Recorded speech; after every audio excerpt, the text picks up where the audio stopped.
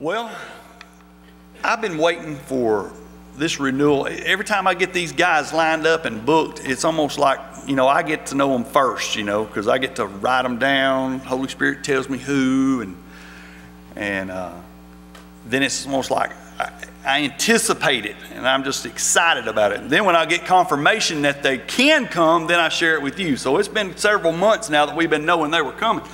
Now, John, here's how I got John. John came, and I don't even know John.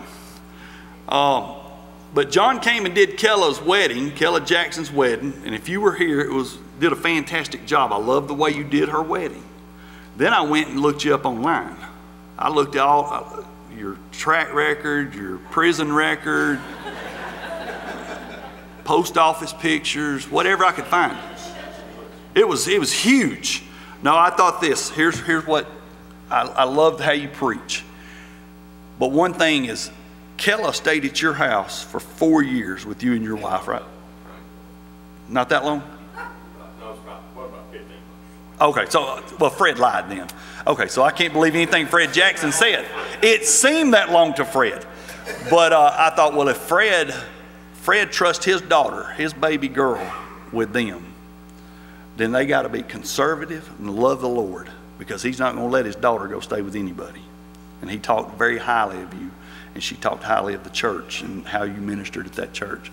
And I thought that would be a great fit to end our, our revival night on a Wednesday night. So, brother, come on up and share with us. We, uh, we've been praying over you ever since we started, and you said yes.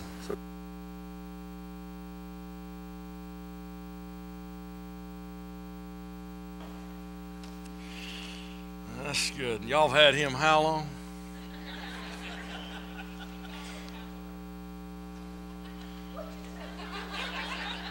What did she say? He's almost housebroken. I love it. I like the fact that it's almost housebroken. Yeah, I was here back in June and got to meet Brother Thomas that afternoon, and uh, it was a hot afternoon in June, and we did Kella's wedding. We uh, Kella is uh, we she's like an adopted daughter to us. Uh, she was already very close to our family, and uh, through a set of circumstances, came to live with us for.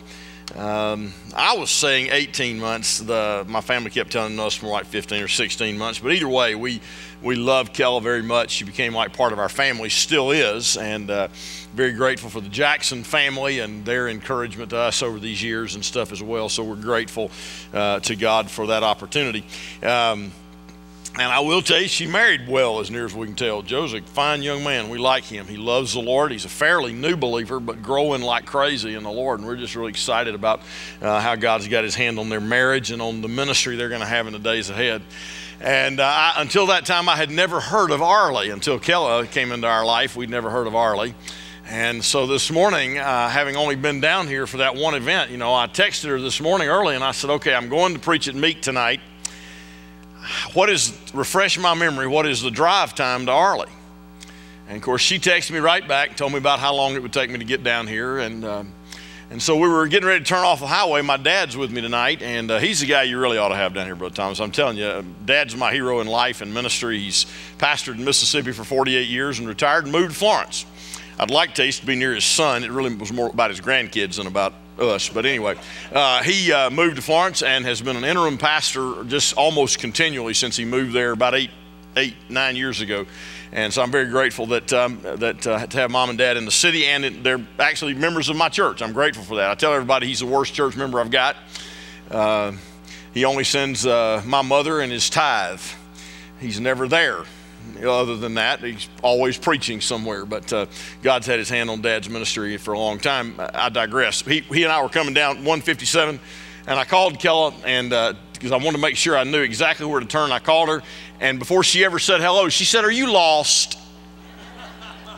I said, Why would you jump to the immediate assumption that I'm lost? She said, Well, every time I try to tell somebody I get to Arley, they get lost. So, anyway, but we made it here. She, she reminded me of what road, and we made it here. Let me ask you tonight take your Bibles and open them with me to uh, Acts chapter 13. Open them with me to the book of Acts chapter 13, and uh, your theme has been renewal. And I'll just tell you right up front I'm not an evangelist, I'm not uh, a guy knock, notching my Bible cover, and, and I'm, I'm not an entertainer, I'm a pastor. Uh, my heart beats for the church. I love the body of Christ. When I was a young preacher, still in seminary, I wasn't sure if God was going to lead me into the pastorate or, or was going to lead me to, to be an evangelist. I did a lot of revivals and a lot of preaching all over the place. But uh, over the years, the Lord really defined my sense of call to the church. I love the church. Uh, I, I love seeing God's people begin to rise up and be who God has created them and called them to be and to serve in ministry. And, uh, and I'm very grateful for every opportunity He's given me to do that. And so I, I'm, I'm just a pastor, and I just believe God's Word speaks to us. You don't need my wisdom. You don't need the wisdom of some book I read. You just need the wisdom of God's Word. That's what all of us need. We need His Word. And so tonight I want us to share together out of the first few verses of Acts chapter 13. Now, your theme this week has been renewal. You've been talking about being renewed. Well, I want you to understand that what I want to share with you tonight has done as much to renew our church family and, and as much to stir the church in this generation as anything I know of. So if you found Acts chapter 13, stand with me, please. This is God's word. We want to read the first three verses of Acts chapter 13 together. The scripture says, Now there were at Antioch, in the church that was there, prophets and teachers. Barnabas and Simeon, who was called Niger, and Lucius of Cyrene, and Manaen, who had been brought up with Herod the Tetrarch, and Saul. And while they were ministering to the Lord and fasting, the Holy Spirit said, Set apart for me Barnabas and Saul for the work to which I have called them. Then, when they had fasted and prayed and laid their hands on them, they sent them away. Heavenly Father, tonight, would you speak to our heart? Lord, we, we just ask you, speak, please, Father, to our heart. Speak to my heart. Speak to us through your word. Holy Spirit, be our teacher. God, don't let this moment be about us, let it be about you. Renew us, challenge us, change us for your glory. In Jesus' name, amen. And you may be seated. When God wanted to expand or wanted to spread the gospel around the world, He started a church. Have you noticed that? He started the church, and they started churches all over the known world of that day. And if you read the book of Acts, it just literally talks to you about the spread of the gospel from Jerusalem out to the ends of the earth. And, and over and over and over again, it talks about how churches sprang up in parts all over, in places all over that world. And so when God wanted to, to, to spread the gospel, when God wanted to fill the earth with his glory, he started a church, right? He raised up a whole lot of believers and then he put them together in, in, in community, in fellowships and church families, and he left us with the single commission to share the gospel of Jesus Christ, to make the name of Jesus Christ famous in this world. That's why we're here. And if you want to know how to do that, I can't think of a better guidebook than the Bible. We read a lot of different things that encourage us and strengthen us and teach us but at the end of the day, if the church wants to know how to be the church, the best place to look is in the Bible, right? And I can think of few places in the Bible better to look to help us understand a little bit of what the church is intended by God to be than those three verses we just read about the church at Antioch. Because this church at Antioch is a model for what all of us in the body of Christ need to be. Let me just see if I can set the stage for you tonight. On July the 4th, 1776, members of the Continental Congress lined up to sign the Declaration of Independence. The famous curtain line to that document says this the, the, the big line in that document makes this statement. Listen, it says, And for the support of this declaration, with a firm alliance on the protection of divine providence, we mutually pledge to each other our lives, our fortunes, and our sacred honor. Those men understood the ramifications of that moment in their lives. Here's what they knew they knew that from that moment on, they were marked men. You ever heard anybody say, is it, is it just me or is there an echo in here? Hearing a little echo. Are you okay? If y'all are okay with that, I'm okay with that. But I'm hearing a little bounce here. All right. You've heard the expression, put your John Hancock right here. It comes out of that moment. John Hancock reached over to sign the Declaration of Independence and he signed it in really big letters. There was already a bounty from the King of England on his head. And here's what he said He signed in enormous letters. He said, So that His Majesty could now read his name without glasses and could now double the reward. That's what he said. Here's what you need to understand about those men they were willing to lay everything on the altar of freedom and we worship here tonight in peace and freedom because they were willing to be spent for the freedom of future generations. They said, We are willing to be spent if necessary so freedom can rise on this earth.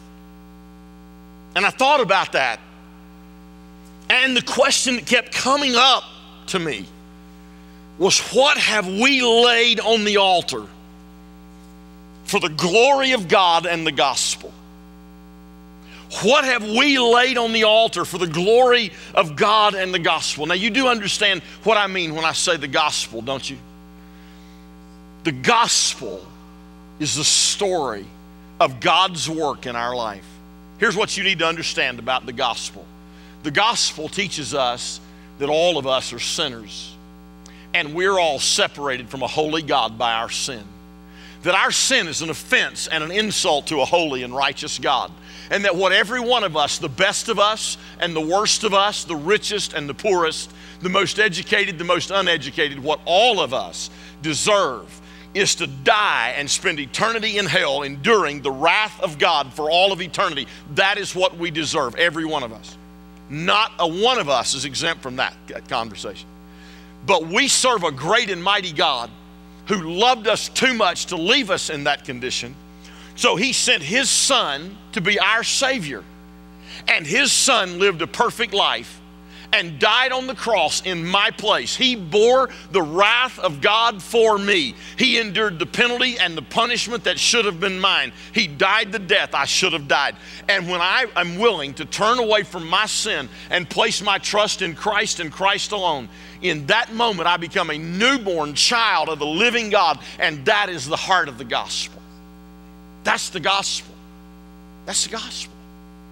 And tonight we serve a God who wants every one of you here to know Him personally through His Son Jesus Christ. He loves you just like you are. He knows you where you are, He knows everything about you. He knows things you've never said to anybody. He knows things about you you do not even know about yourself. And knowing everything there is to know about you, He loves you. He loves you with a perfect love. And tonight, the the, the gospel is extended to you tonight. And tonight you can turn away from your sin and everything else you're trusting in and place your trust in Christ and Christ alone. And in that moment, walk into a personal relationship with God through Jesus Christ. I can't think of anything more exciting. But the question tonight for the church is this What have we laid on the altar? so that other men and women, other boys and girls know that message of God's grace. What have we put on the altar for that? Let me ask you a question Are we expendable? Are we an expendable church? Is Meek Baptist Church an expendable church for God's glory? Years ago when our Southern Baptist Convention was involved in the, in the controversy over the inerrancy of Scripture. You remember those fun days. And uh, most of us have tried to quit thinking about them, but it was about a 25 year period where we just kind of had this, con- this conflict going on for the soul of our denomination and they established this thing called a peace committee, right? And they had people from both sides of the conversation, and they put this great big peace committee together to try to find a way to reconcile the differences in the denomination. And Dr. Adrian Rogers, the retired and now late pastor of Bellevue Baptist Church, was the elder statesman of the convention. He was on that committee, and I'll never forget what he said. He was telling the story about their committee meetings, and they, both sides were standing their ground. And one of the guys looked at him and he said, Adrian, if you guys don't compromise on this, we'll never get together. And I love what Dr. Rogers said. We don't have to get together. He said, I don't have to pastor Bellevue. The Southern Baptist Convention does not have to survive. All we have to do is glorify God and preach the gospel to the nations. That's all we have to do. We don't have to get together because we make ourselves expendable for the glory of God and the gospel. Now, let me tell you that that does not mean that we are careless or reckless about our lives or the life of this church. We're not reckless or careless. That's not what this means. It does mean that we have one prayer we pray before the Father God, whatever it takes to get the gospel out, we will do. Whatever it takes to get the gospel out, we'll do. It does mean we are yours, Lord. Spend us as you will for your glory and the gospel. Henry Martyn said the Spirit of Christ is the spirit of missions, and the nearer we get to Him, the more intensely missionary we must become. And there are people who say, which is most important in the church, evangelism or discipleship? I'll answer your question if you answer mine. Which is most important to you, breathing in or breathing out? Come on. You got to have both, right? We've got to engage in the work of evangelism so people will know the Savior we love. We're not here notching our cover. We're not here to build our rolls. We get accused of that kind of stuff. But we exist for one reason, y'all to see people who are far from God, disconnected from His people, and in need brought to the Savior. That's why we're here. But if we truly grow, if we truly are growing in the likeness of Jesus Christ, we will become more and more missionary minded. We will become more and more expendable for the gospel. We will become more and more like Him. What did He do? What did He do? The Bible says in Philippians chapter 2 that He laid aside the garments of heaven and took on him the form of a man and became a servant and became obedient even unto death. Why did he do that? Because he loved us and he wanted to bring us to the Father. Now, if we want to be like Christ, that has got to mean more than sitting in church and singing songs and raising our hands and being in a small group and studying Bible and going, I'm getting more and more Christ like all the time. Are you? Because he put himself on a cross shaped altar to bring you salvation. What have you put on the altar for the glory of God and the gospel? Now look back with me at Acts chapter 13 just for a minute. In, in, verse 1, it says, Now there were at Antioch, and, and they got to Antioch. Let me just tell you how this whole work began at Antioch. After Stephen was martyred in Jerusalem, a persecution arose in Jerusalem. And many of the believers were scattered outside of Jerusalem. The apostles were not, they stayed but many of them, many of the believers were scattered outside Jerusalem. And they went different places, and everywhere they went, they preached the gospel. And some of them went to Antioch, and God began to do a mighty work in Antioch. And so, verse 1 tells us that there had, had congregated here at Antioch now in the church that was there prophets and teachers. Barnabas, who you know was the missionary companion of Paul, and there were Simeon and Lucius and Manaen and Saul, the Apostle Paul. They were there. And they were, verse 2 says, while they were ministering to the Lord and fasting, they were seeking God. They were pouring their heart out, hearts out before God. They were worshiping Him and they were preaching the Word. Chapter 11 tells us about their preaching the gospel in Antioch. It tells us about it here. And they were doing church, right? They were just doing church. They were just doing what God called them to do. And God said this Set apart for me Barnabas and Saul for the work to which I've called them. Then, when they'd fasted and prayed and laid their hands on them, they sent them away. Now, this church is a picture of what the church ought to be in this generation. So, let me show you some things they knew. Write these things down, right? Because the dullest pencil remembers twice as much as the sharpest mind. Write these things down. An expendable church understands three things. An expendable church, a church that places itself at the, God's disposal for the gospel, understands three things. They understand that God owns it all. God owns it all.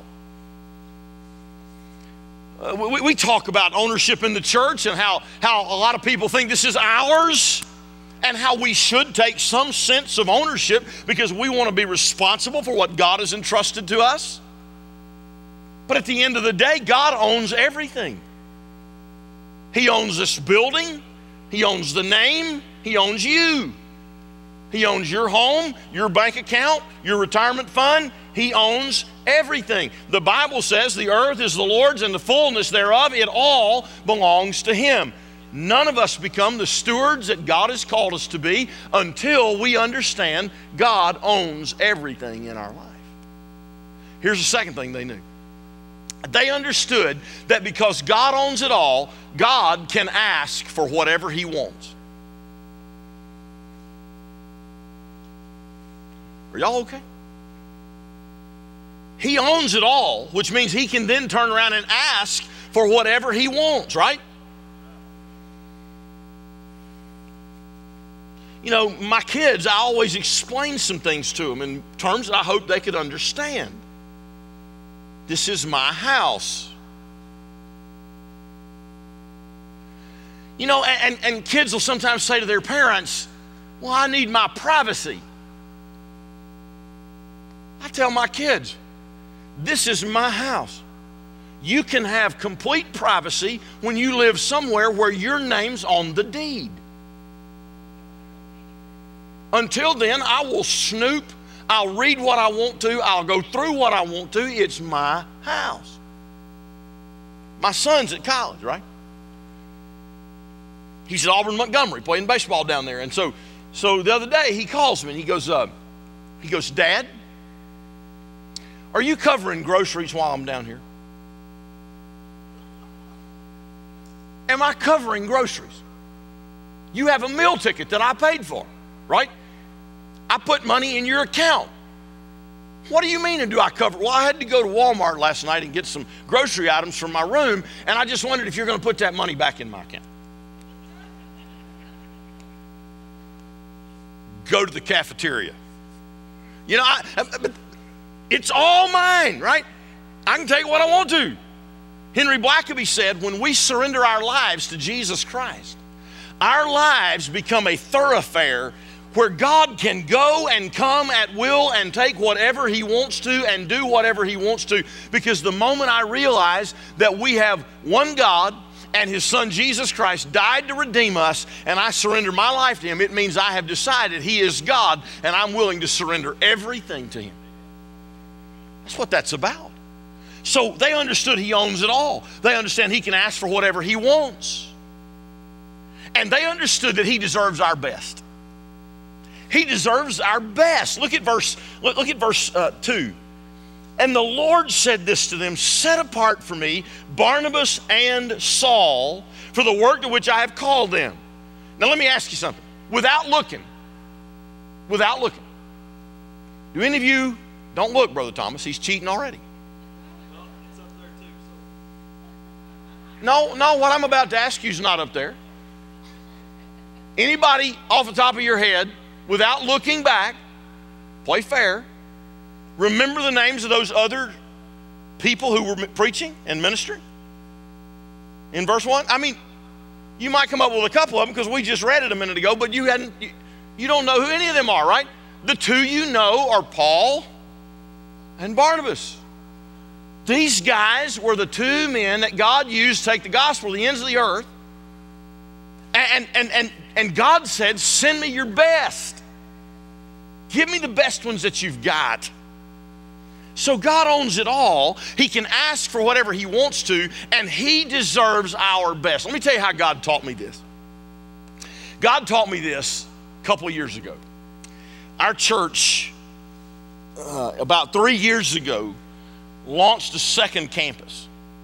And launching is a little bit of a strange term. What happened was there was another church that in the 1940s, our church had been used of God to launch us a mission. And for, for the last 60 years, it had existed on its own, right? But about three years ago, it was almost dead. It was down to about 25 people, and the youth group started somewhere around 66 years of age. They had no pastor, And we had been praying for God to open up a door of ministry for us to have a platform to serve some people in our city we don't normally touch, right?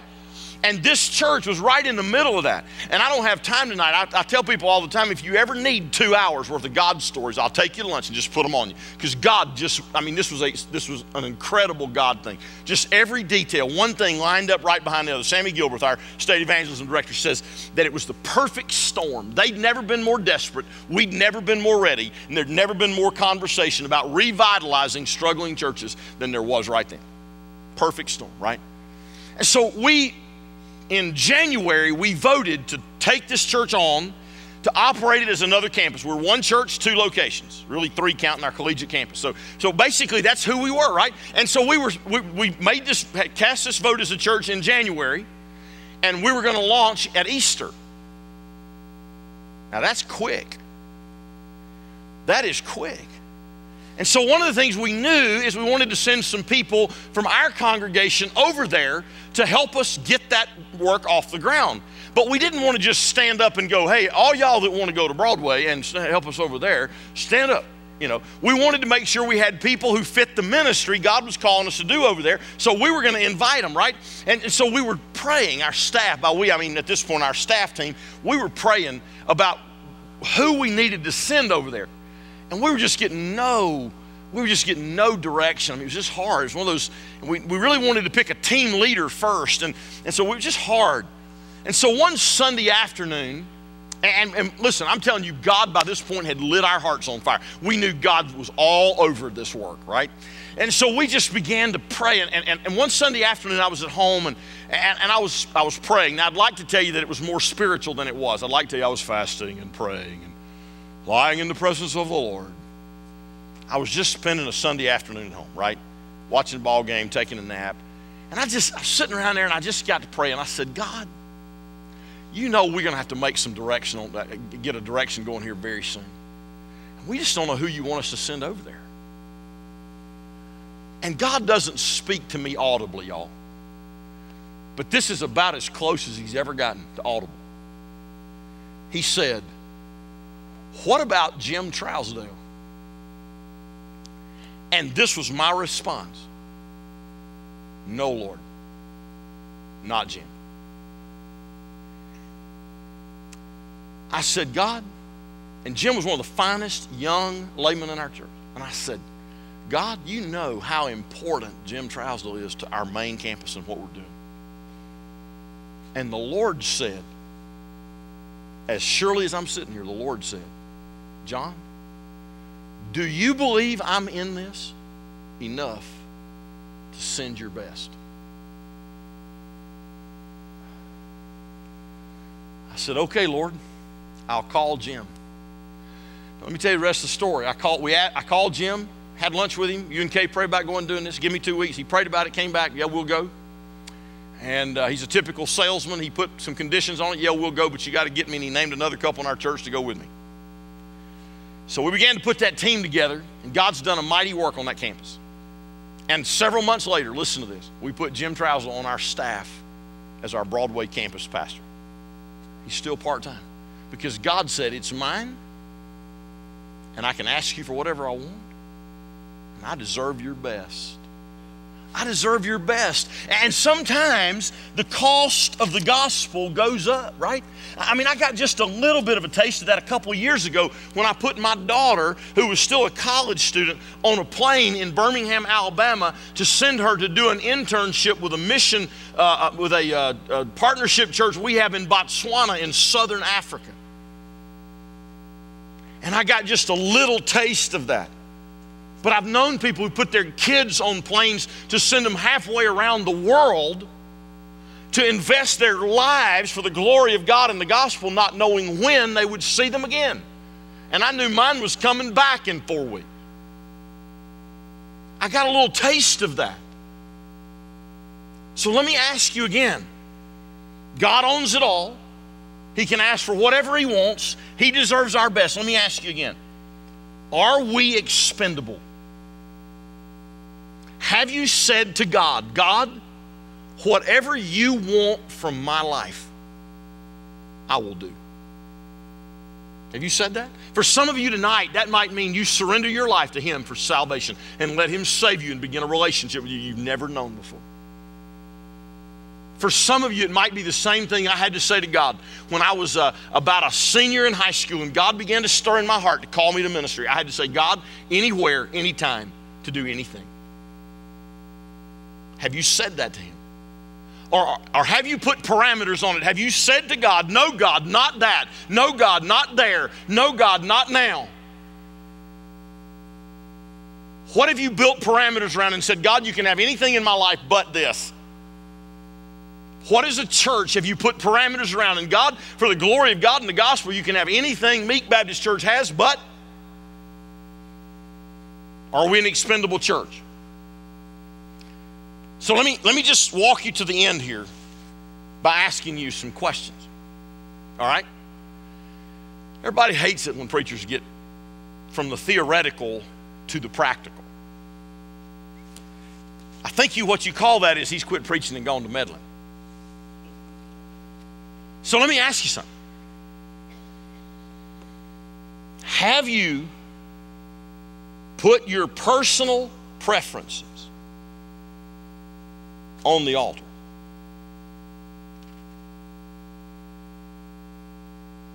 Have you put your personal preferences on the altar?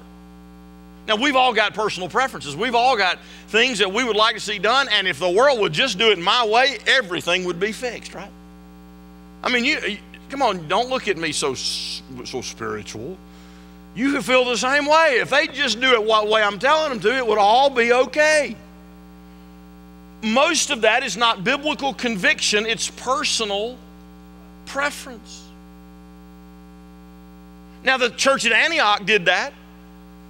You say, How do you get that out of three verses? I don't get that out of just three verses. I have to go back to chapter 11. Because if you go back in, in, Acts chapter 11 and you read where the first people began to, first believers began to make their way into Antioch and they started preaching the gospel. You know who they started preaching the gospel to?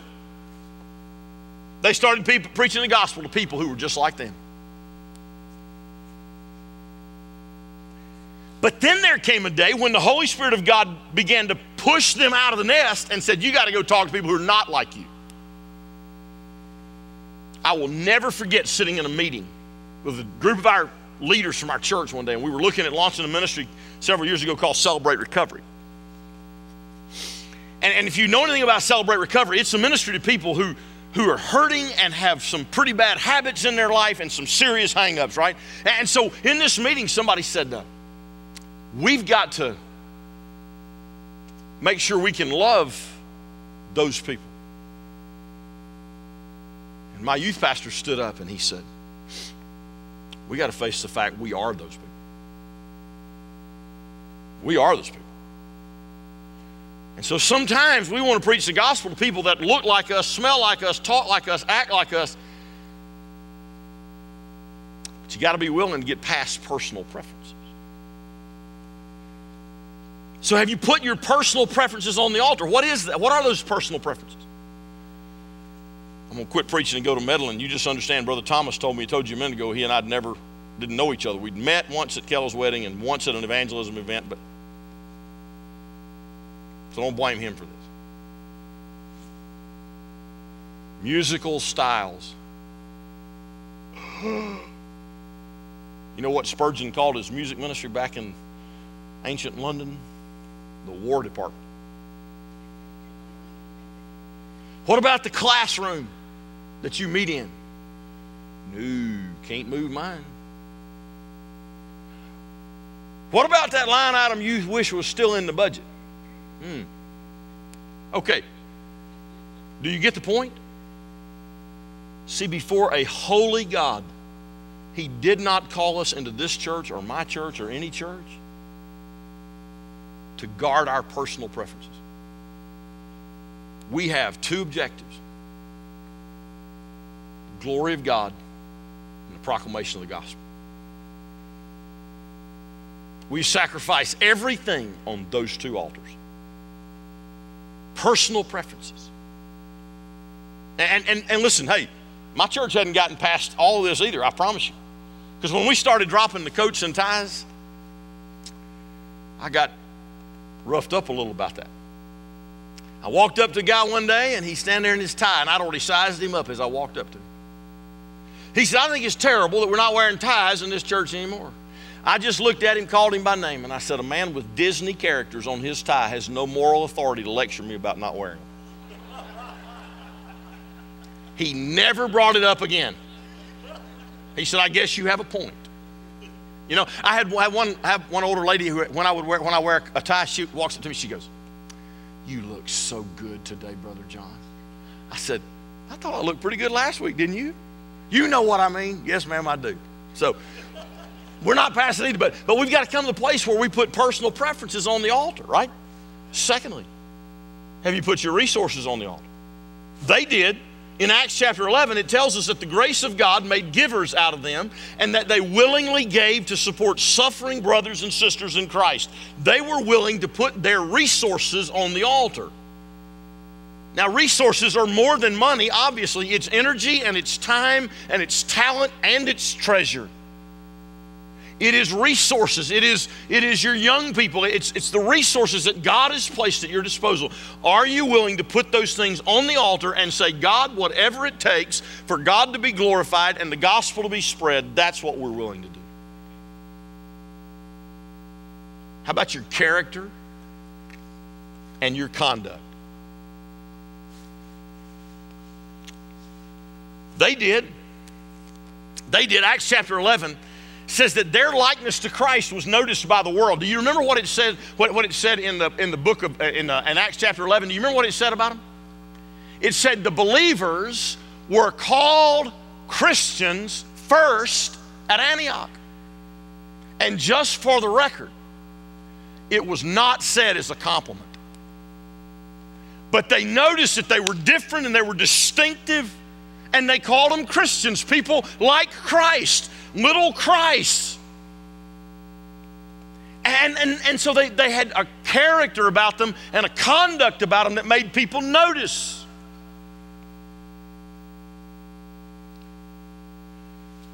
It's important for us to make sure that our character and our conduct does not shoot our message in the foot.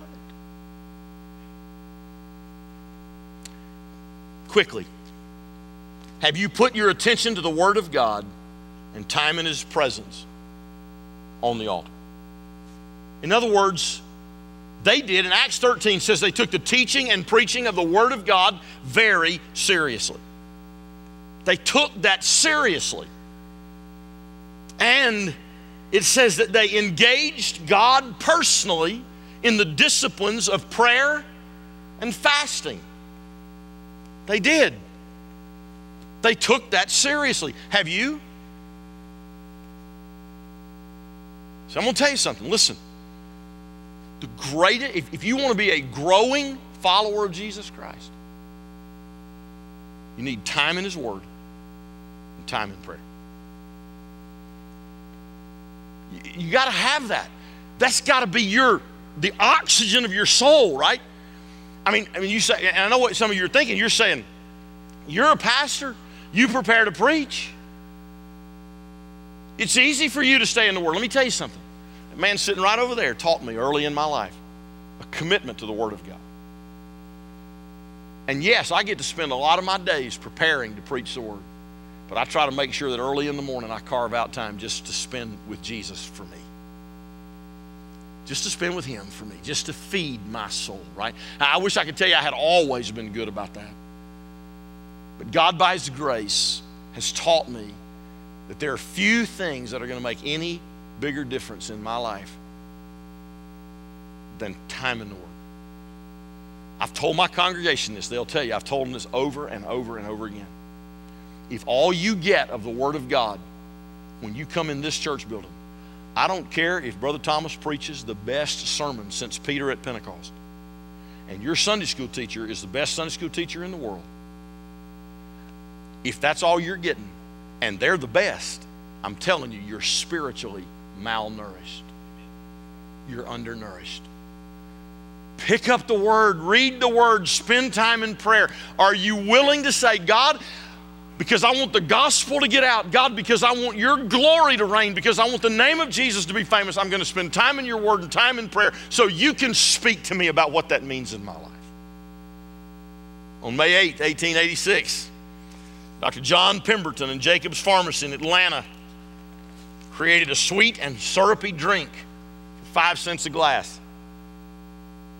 Today, Coca Cola is all over the world. I was in Nicaragua on a mission trip. And the missionary down there, we'd gone out, I'd been teaching pastors that day, and we'd gone out after that, that morning session with those pastors to one of the villages, and we'd worked out there and we were riding around. He's showing me some of the other villages where they had work. He said, uh, You want a Coke? I said, Yes, that would be great.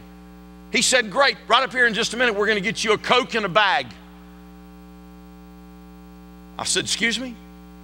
A Coke in what? No lie. We stopped at a little roadside stand. He bought Coke, Coca Cola. I want to make sure we're clear on this.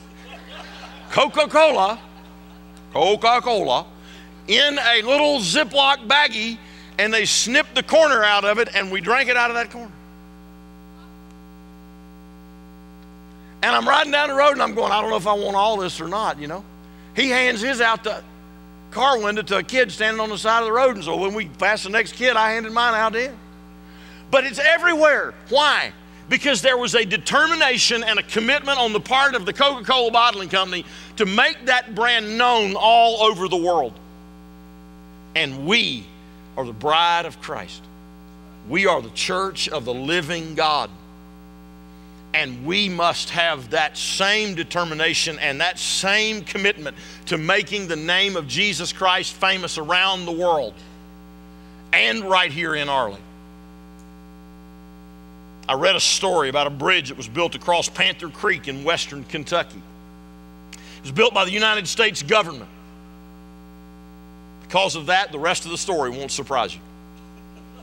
It was a source of pride and a symbol of recovery. But today, years later, they say the bridge looks as new as the day in which it was built because there is no road leading to it or from it. And the author of the article that I read about that bridge in Panther, Kentucky, or Panther Creek, said a bridge that doesn't carry traffic is a bridge in name only. And a church that doesn't carry the gospel is a church in name only. Let me ask you one more time. Are we expendable? Years ago, I'd spent a week when my family and I lived in Arkansas for almost seven years. We're from Mississippi and we went to Arkansas for almost seven years before we moved to Alabama. And um, there was a week that I had just blocked out and I spent time in a Christian retreat center about an hour and a half from where I lived, just studying, just praying and writing sermons and, and just seeking God for my church family. And, and um, that Friday morning, I got ready to go home, and my cell phone rang while I was loading the car. My wife said, Are you coming straight home? And I said, Well, yeah, I'm, I'm, heading that way in just a few minutes, but I was planning on stopping by the bookstore in Little Rock for a few minutes and couple things there, and I, I was coming on home. She said, No, you need to come straight home. And I said, Why? What in the world? Why do I need to come straight home? She started crying and she said, Honey, Stephen has been in an accident. I said, How bad is it? She said, I don't know. I'll call you back as soon as I know. Stephen was a young man who had been on my staff in Mississippi as a youth pastor for a few years. And when he finished college, he went off to seminary and served somewhere else. And I had recommended him to his first church to pastor outside of the city where we lived. And uh, he and I were like brothers almost. He was like a little bro- like a little brother. I have a little sister, but Stephen was like a little brother to me. We were together all the time. And I got about 10 miles down the road, and my wife called me back and she said, Honey, Stephen didn't make it. That morning, on his way to his church for early morning prayer time with his minister of music, another car, probably under the influence of drugs, crossed the center line, hit Stephen head on, he died on the highway. Until that day, the only people I had ever lost in my life were grandparents that I loved with all my heart, but they lived to ripe old ages and died at the right time of life and went home to be with the Lord Jesus. This was the first time my life had ever been rocked by that kind of tragedy. About an hour after that phone call, I walked into that house to see Stephen's young wife, two small children.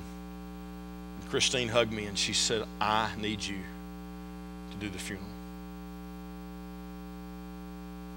Now let me give you let me give you a little bit of the good news because people always want to know. At his funeral, the day we had his funeral, I preached the gospel and we had seven or eight people gave their life to Christ at Stephen's funeral. I mean, y'all come forward invitation at the end of a funeral. And one week to the day after we carried him back to North Mississippi and buried him, I had the opportunity to lead his younger brother to faith in Jesus Christ over the telephone. And his father, who had been a salesman, who had probably missed a calling many years before in life and bounced around from job to job because he didn't answer the call of God when he should have, is now a pastor in North Mississippi. Those were some of the hardest days of my life. And the Lord reminded me of something. I heard Dr. Johnny Hunt years ago make this statement. He said, We have all of eternity to enjoy our victories and only one lifetime to win them. And in those days of Stephen's death, the Lord impressed in my heart that what we're going to do for the Lord, we better do today. There's a parable in the Bible. Jesus tells a parable about a man who went off on a long journey, called his servants in, and he gave them each some of his money to invest. Do you remember that? He gave the first one the most, and then it stepped down to the last one. He just gave him one talent. And he came back from his journey, and the first two had made more with what he gave them. And he got to the last guy, and the last guy said, I was afraid because I knew you were a hard man. You reap where you do not sow. And so I hid your money in the ground so you'd have it back with so, so you'd have it back. And the man said, If you knew all that about me, shouldn't you have at least put it to the banker so when it came back, I would have it with interest? If you, if you look at that parable, the only one of those men who was ever chastised by the master was the one who did nothing. Did the others risk losing the master's money? Yeah. But the only one that got the rebuke of the master is the one who did nothing. And I made up my mind that I might stand before God one day and say, I tried a lot of things and failed. But I made up my mind I would not stand before Him and say, God, I was scared. It didn't fit my personal preferences, whatever the case might be. And I did nothing with what you gave me. Are we expendable for the glory of God and the gospel? Would you bow with me, please? Every head is bowed and every eye is closed in this room. I'm going to ask you to please be very still and very quiet. Brother Thomas is going to make his way right down here. And tonight, there might be someone in this room who does not know for sure that you have eternal life and that you're going to go to heaven when you die. We pray, God forbid, that anything would ever happen to you in an untimely way. But you are not guaranteed one more breath. And when you draw that last breath, having made your decision to accept or reject Jesus Christ as your Savior and Lord, that is the end of your opportunity. So tonight, if you've never surrendered your life to God and come to know Him through faith in His Son Jesus Christ, I ask you to call on His name and right where you're sitting, ask Him, Lord Jesus, save me. Lord, I know I'm a sinner and I know you died on the cross for my sin. And right now I surrender my life to you. Save me and change me, Lord Jesus. And some of you know that's the decision you need to make. Because from the moment you walked in here tonight and we began to sing about the Lord and we began to talk about the Lord, there's been an uneasiness in your spirit. There's been a stirring in your spirit. And the Holy Spirit of God is drawing you to Himself tonight. And if you're going to surrender your life to Jesus Christ, it needs to be tonight. So call on Him and ask Him to save you. And if you need somebody to talk about that, I'm going to ask you to come and tell Brother Thomas that he would love to talk with you. I'm sure there are other people here who would share with you as well. If you prayed right now and said, Lord Jesus, come into my heart and save me, when we stand to our feet in a moment, I'm going to ask you to step out into the nearest aisle very quickly and come and take Brother Thomas by the hand. He's not going to embarrass you or humiliate you, he just wants to celebrate that with you. And wants to help you know what happens next because this is not the end, it's the beginning of a brand new life with Christ Jesus. But tonight, the message has largely been to the church. So, church, are you expendable? as an individual, have you said to God, God, whatever it takes for my life to glorify you and get the gospel out, I will do? Tonight, I'm going to ask you to come and just fill up this around this altar right here and just pray and do business with God and just call on God and say, God, I want my life to count. I want my life to be expendable. I want to do what it takes for you to get glory through my life. If anything will renew you as a follower of Jesus Christ, it will be because you make a decision to give yourself away for Jesus Christ and His glory. We've watched that renew our, our church family very much over these last days. Some of you might need to come and join this church and tell Brother Thomas you want to become part of this church family. Some of you may say, we need to get together and pray together as a church.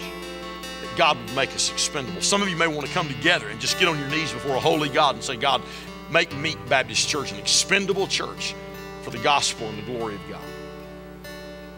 So I'm going to ask you with your heads bowed and your eyes closed, nobody moving around right now unless you're coming this way. I'm going to ask you to stand very quietly, very reverently to your feet. Just stand all over this congregation. Everybody stand to your feet. Heads are bowed. Your eyes are closed. Heavenly Father, move in this moment. Holy Spirit of the living God, have your way in us. Do a work in us, God, that can only be explained by your Spirit. Lord, right now, let somebody give their heart to Jesus. Let some believer get serious about being a Christ follower. Let somebody tonight be willing to surrender their church family to you for your glory. Make us expendable, As he plays and sings this song, Brother Thomas is waiting on you. Step out and come right now.